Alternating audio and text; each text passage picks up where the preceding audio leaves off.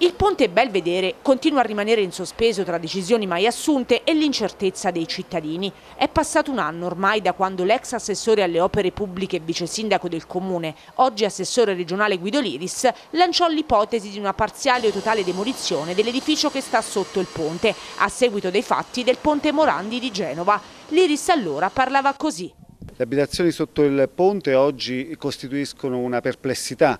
Eh, dopo il disastro di Genova ci si è chiesti se valga la pena mantenere delle abitazioni seppur eh, sicure, eh, dato che eh, dopo il terremoto, seppur costruite nel ventennio, dopo il terremoto hanno, del 2009 non hanno avuto alcun danno, se valga la pena mantenere eh, queste abitazioni al di sotto di ponti, ma ripeto, non per la precarietà dei ponti che comunque abbiamo già potuto eh, constatare eh, non soltanto da Genova ma anche in altre situazioni il cemento armato ha una vita e quindi anche questo ponte ha una vita.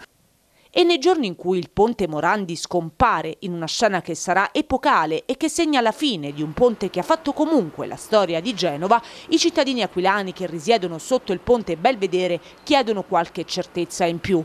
Gli inquilini infatti si sentono soli e abbandonati e da allora non hanno più saputo nulla né dall'Ater, proprietaria di alcuni degli appartamenti, e né dal comune.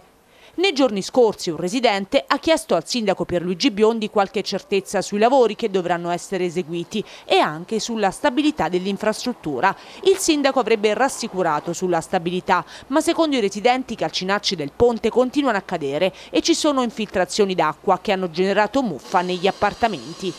La delibera comunale che optò per il consolidamento è datata 2017. Lo scorso febbraio però tutto si bloccò a causa della rescissione del contratto con lo studio di ingegneria Romolini che stava eseguendo lo studio di sicurezza e progettazione definitiva ed esecutiva del nuovo ponte. Insomma, i residenti oggi vorrebbero sapere cosa ne sarà di quel ponte. Intanto, nei giorni scorsi, la denuncia del consigliere comunale di opposizione del Passo Possibile Paolo Romano che ha dichiarato senza mezzi termini che il ponte Belvedere non compare neanche nel piano triennale delle opere pubbliche.